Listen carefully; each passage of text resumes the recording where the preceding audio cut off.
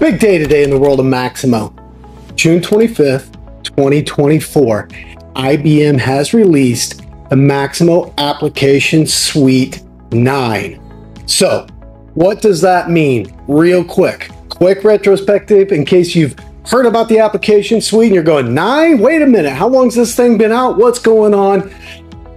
June 5th of 2021, IBM released the Maximo Application Suite 8 core. Okay, that was the core. Over the last three years, they've been adding on applications focused heavily on the breadth of the overall application suite, in some cases, enhancements of functionality and some new apps, but really filling out the suite overall. Started with the core, they added manage, then things like health and predict, monitor.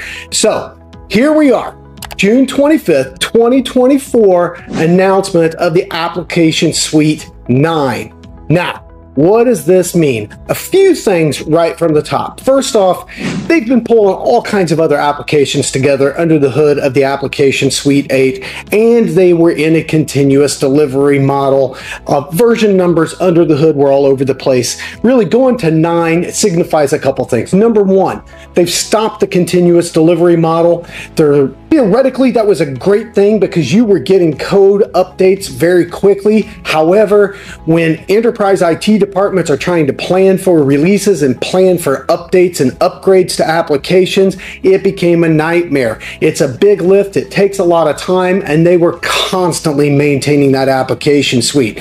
So, those guys, and then especially regulated customers like those in the life sciences are saying, hey, we cannot go through a big system revalidation every few months. This isn't working. So, continuous delivery has gone back to more of a scheduled release date model as it was before, with the support being uh, three years of core support, base support, with one year of extended and then another optional three years of extra extended support on that. So, Maximo Application Suite 9 is the go forward platform on the new delivery model. This thing is sweet. So, now let's talk about what's really under the hood. What are we getting? What's changed? So, that same Maximo that everyone loves for years, now called Maximo Managed, so it's the managed component within the Maximo application suite, is still within that same 7.6 genre of code base. So you're not going to see something totally foreign uh, out of that. Okay. You're going to see a Maximo that looks very much like what you're used to already if you're on a 7.6 platform, and you're going to see some improvements. Some much needed improvements, some really solid improvements.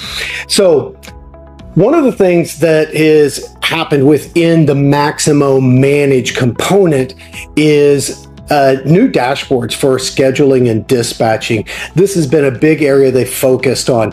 And so we have new dashboards. We are able to see a worker's planned route for the day. And now with some updates in the mobile, so we're going to pause. Mobile.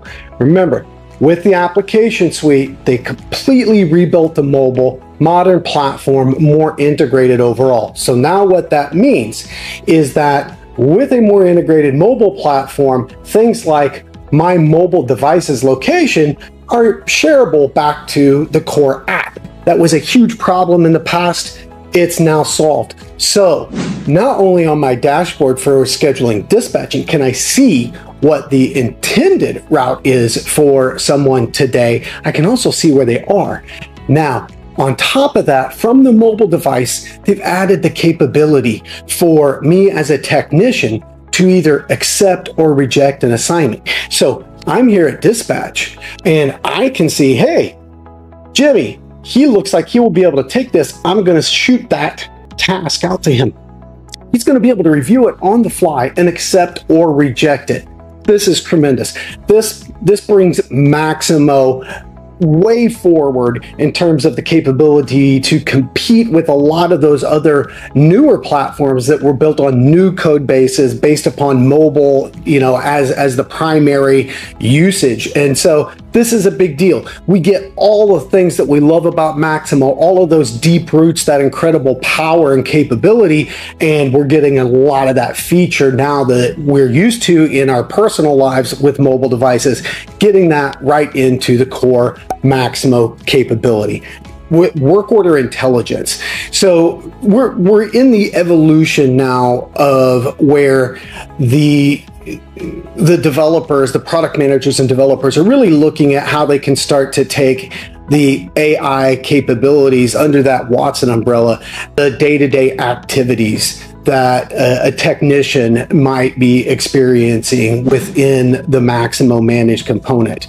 So before we really saw Watson and AI as something that sat outside of Maximo and it was really focused like on big data crunching, modeling, things like that. But now something as simple as using AI to read what's going on with a work order and to predict what the problem code is. That's huge. It, when we talk about, we've talked about this a lot, historical data sets and what they're missing. They're missing materials, spare parts. They're missing failure codes, which is problem cause and remedy codes. They're missing duration it took to do something.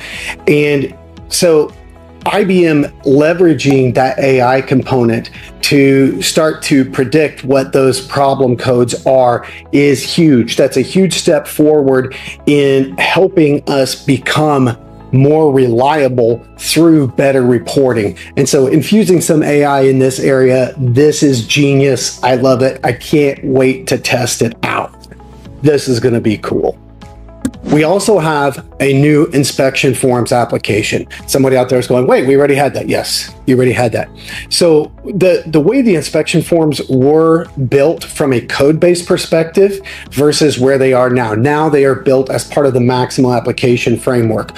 What that means is a much more seamless sharing of information between the core app and between the inspection forms. Anyone who's dealt with over this over the past couple years has eh, found inspection inspection forms were slow, if they got long, they got really slow, uh, issues with the configurations and making data pa pass back and forth properly. And that's because they weren't natively built on that Maximo application framework, but they are now.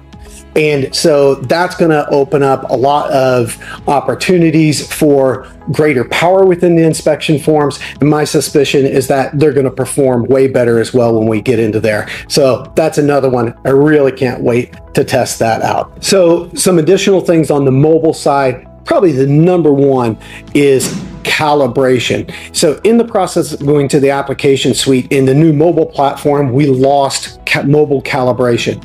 And so companies that are in the life sciences or other industries where calibration is critical have been reticent to move because calibration is core to what they do. Well, it's out now. It's here. So Maximo calibration on the mobile is now out as part of the application suite 9. This is a huge deal. So, life sciences companies, if you've been sitting around waiting for this, wondering, is it really going to come out? It's out, it's here. So, now's the time. Get on the bandwagon, get moving, planning that application suite 9 upgrade process decide what of this new functionality you're going to take advantage of how are you going to clean up that historical probably mess of data and what are you going to keep going forward so that you can actually see improvement out of this upgrade, see some ROI, and see the business overall operating better out of it. Business value assessment is how you assess all of that overall. Guarantee you it's going to save you money. We'll talk more about that later. Back to the application suite. So now from the health side. So, you know, we don't focus a lot on health because most people don't have the data required to actually do a lot with health. You know, things like monitor, predict, and health are great, but you have to have good data. And so uh, some of the things that they are doing in health now are again those little drip infusions of AI in terms of, as an example, figuring out how we can take components, pieces of data all over the place and say, you know what? I have an idea of what that problem code was, and I have an idea of the expected, you know, downtime versus uptime versus downtime. Like this is unplanned downtime. And therefore, I can start to take a guess at what your mean time between failure is. And that's huge. That's a great use of AI. It's not, it's not big, sexy stuff, but it's very real, very practical things that are going to help return value to the users, to the businesses day in and day out. So, love to see this. Love to see this granular approach to the AI infusion because this is where it starts to generate real return very quickly at that entry level. So, this is awesome. You know, within the application suite, uh, they are starting to introduce reliability concepts. The most important thing is that they're on that path. And right now, they're ahead of where most of our data is. So even though uh, from a reliability, pure reliability perspective, we could pick it apart, the truth of the matter is it's better than where most people's data sets are. So that makes it great in terms of its practical application. And so that's something we're definitely going to play with more. Um, you know, on the Banetti side, one of the tools that we built years ago, we called it RC Max, and it's reliability centered maintenance application built in the Maximo framework. So it's right there in Maximo. And I, I here, we love to see that IBM is starting to bring some of these baseline components in because that RCM is kind of like the pinnacle of the you know reliability from a theory and study perspective. And so there's a long way to go. But now that IBM is putting these hooks in there, uh, the average users, the average, you know, people who are configuring the system are now starting to become aware of this and realize it's important. And so that's a really big deal. Awareness is huge. That's key to eventually getting to the adoption. So Maximo Application Suite 9 is out. This is huge and we can't wait to get our hands on it and really start playing with it with some real world data and Love to hear your thoughts. Love to hear your thoughts about upgrading. Love to hear your thoughts about how you're going to, how you plan to see an ROI out of your move to the application suite 9. So, like us, comments below. Look forward to talking to you.